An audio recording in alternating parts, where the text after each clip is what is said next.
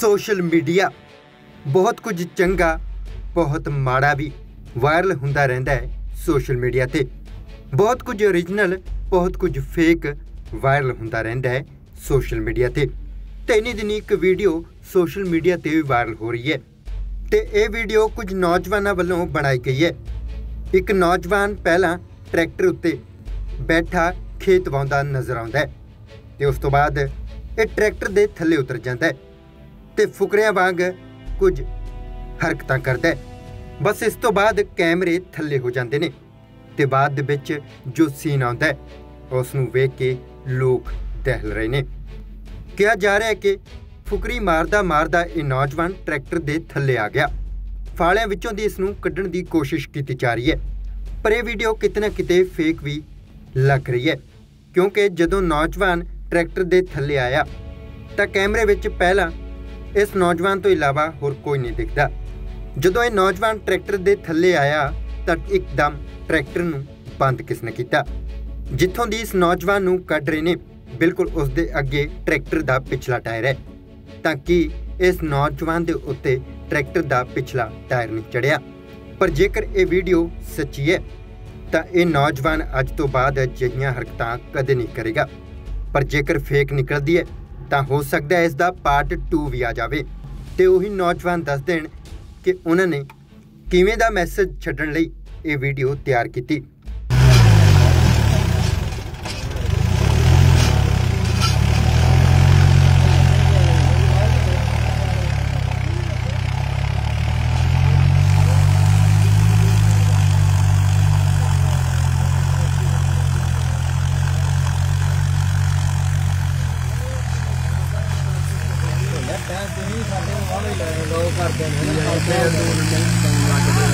ਮਾਲਕਾ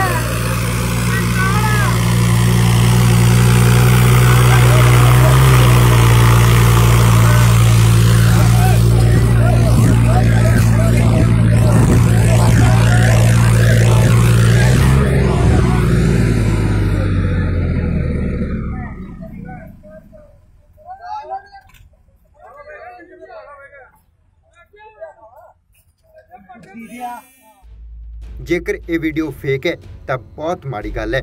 ਤੇ ਜੇਕਰ origignal ਦੇ ਵਿੱਚ ਇਸ ਤਰ੍ਹਾਂ ਵਾਪਰਿਆ, ਤਾਂ ਉਸ ਤੋਂ ਵੀ ਜ਼ਿਆਦਾ।